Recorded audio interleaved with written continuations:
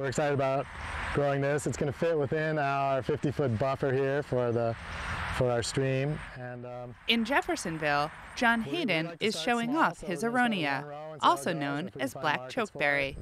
Hayden and his wife Nancy own the farm between.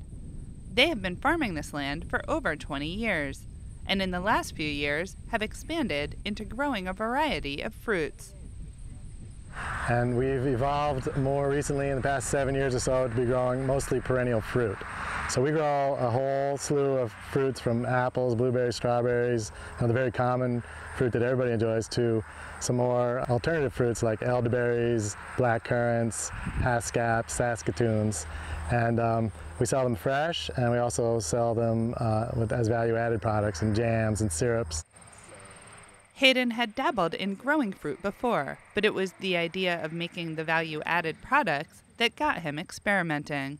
That just opened the gates for me to be able to grow small patches of really interesting fruits.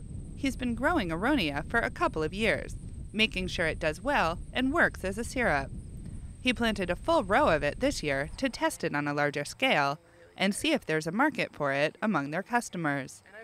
But that's not the only reason Hayden is trying out this new plant. We've had severe floods here three times, once in 1995 and then two times in uh, 2011. So that spring, and then we had Irene, and there were two. Both floods were about equally as bad for us. Got in the barn, you know, this is knee deep in the barn, in our farm stand and stuff like that, and um, flooded our crops, and we lost crops, and uh, that was like kind of the eye opener for us. You know, Vermont has always experienced what was typically called spring flooding. Ginger Nickerson works for the University of Vermont Extension's Center for Sustainable Agriculture.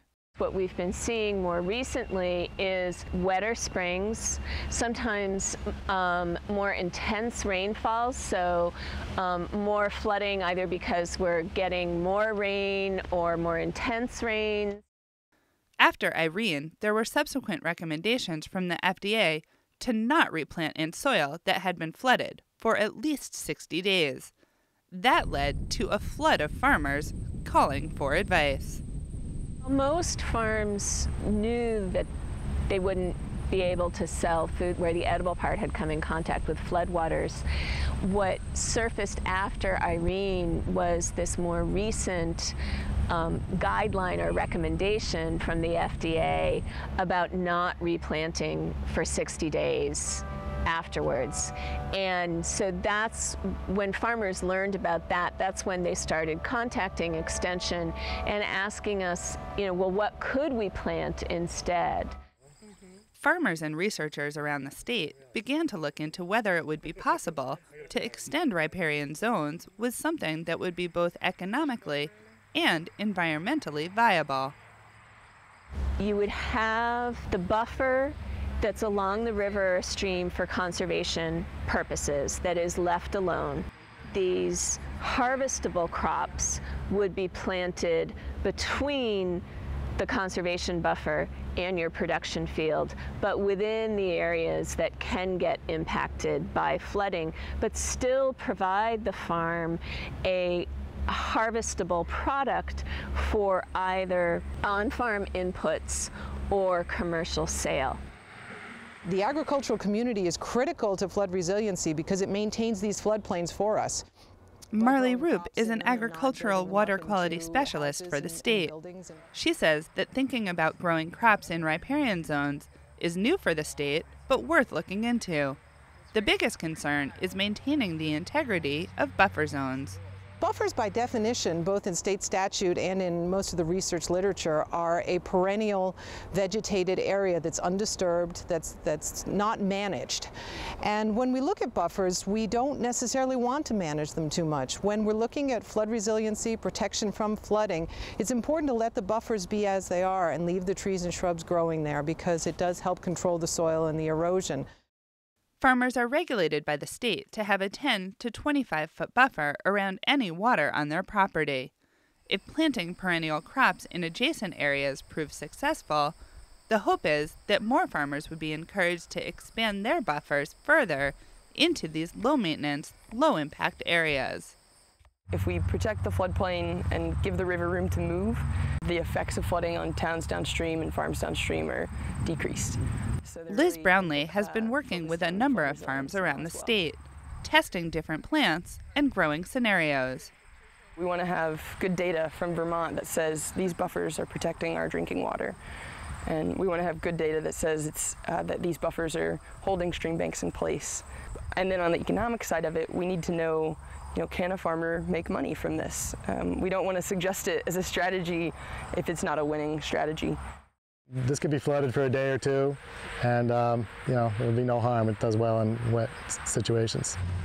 At the farm between, the Haydens spent years letting the vegetation around the stream on their property grow undisturbed.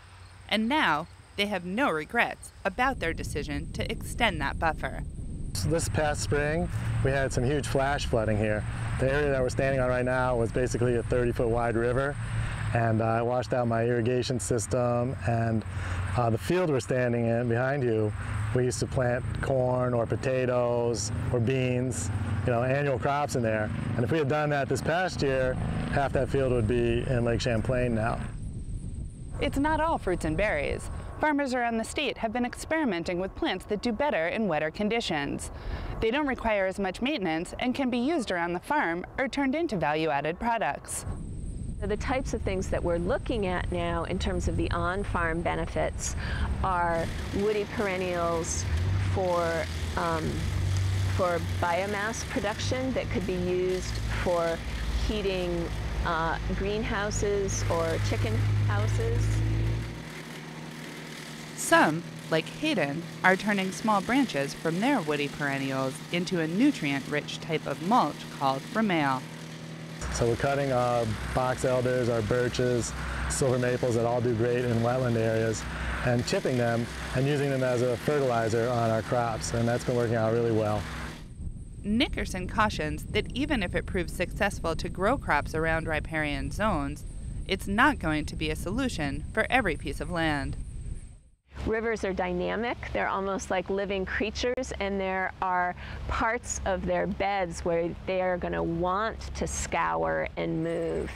And in those places, it doesn't make economic sense for a landowner or a farmer to make a long-term investment. The hope is that this is just one of many tools that Vermont farmers are putting into place when we're thinking about climate change and, and flood resiliency as well ongoing research with the potential to help Vermont farms become more flood resilient and more profitable. It's an idea so new, it doesn't even have a name. In Jeffersonville, I'm Rebecca Gollin with Across the Fence.